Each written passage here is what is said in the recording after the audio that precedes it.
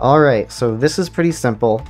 So the first thing we're going to do is go into the project settings, and we have to find input here under engine.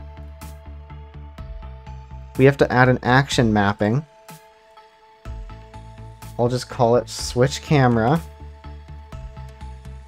And you can assign any key that you want. I'll do Q. So now we have our input. Let's go into our character. This is the, just this is just the default uh, third-person character from Unreal Engine. Right-click and type in your your action input.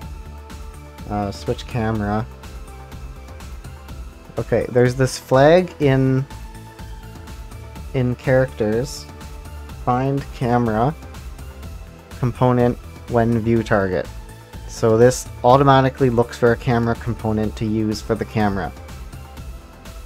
So all we have to do is get this and set this. We want the Q button, in this case, to toggle first and third person. So you could use like a flip-flop and then do that or whatever.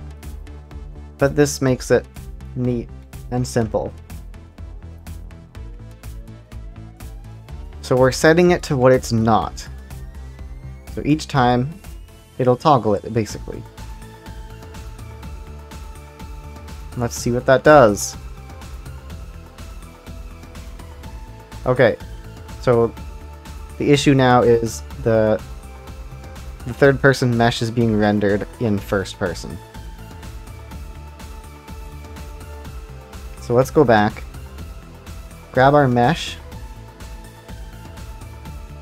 and we want to set it to owner no see, but only in first person, which happens to correspond with this not node.